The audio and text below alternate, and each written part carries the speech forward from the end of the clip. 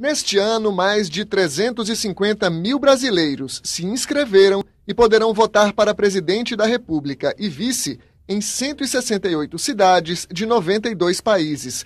O país com maior número de eleitores são os Estados Unidos. Na sequência, aparecem Japão, Portugal, Itália e Alemanha. Nesses países serão utilizadas 916 urnas. Só foram organizadas sessões em cidades com no mínimo 30 eleitores inscritos. No dia da votação, é preciso levar um documento oficial brasileiro de identificação e um comprovante de residência no exterior.